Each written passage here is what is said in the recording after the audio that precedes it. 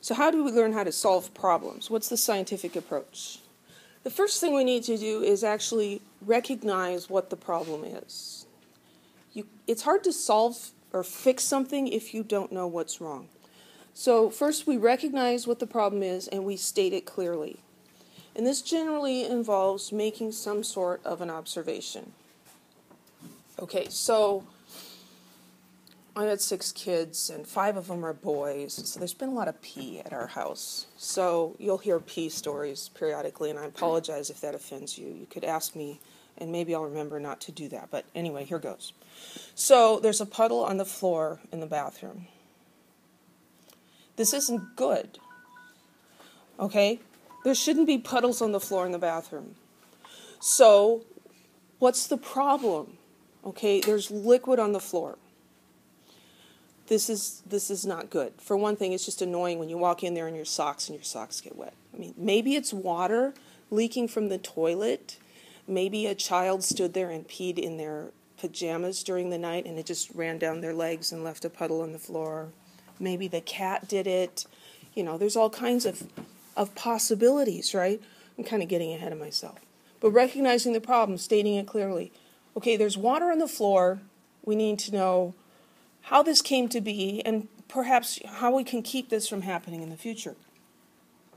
Proposing possible solutions to the problem or possible explanations for this observation. In more science speak, this is called formulating a hypothesis. Okay, what is that water, that liquid?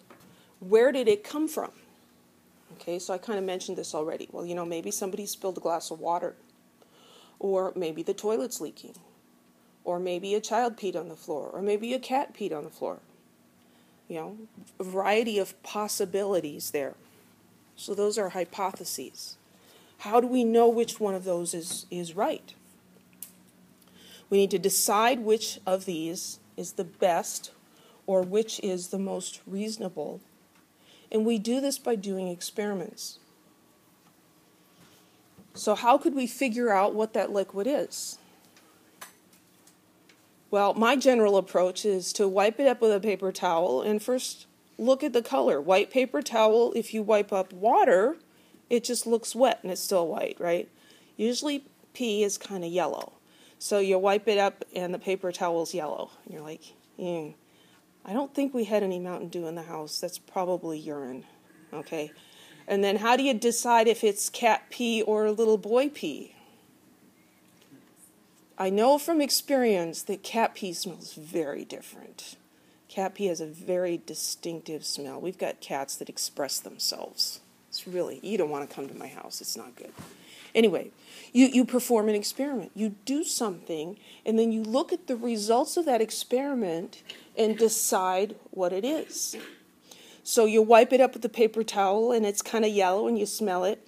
And it kind of smells, but not too strongly. And you're like, yeah, that was probably Andrew peeing in the bathroom. Now, whether he did that during the night or just missed because he really just doesn't care that much, you know, that's, that's the next problem.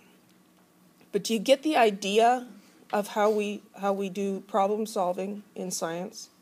And of course, you know, in the lab, we're, we're applying them to you know, much fancier sounding things. But I like to try to apply these ideas to real life and use analogies because a lot of the stuff we talk about in chemistry is very abstract. You mean, you, you can't picture electrons and protons and stuff real easily.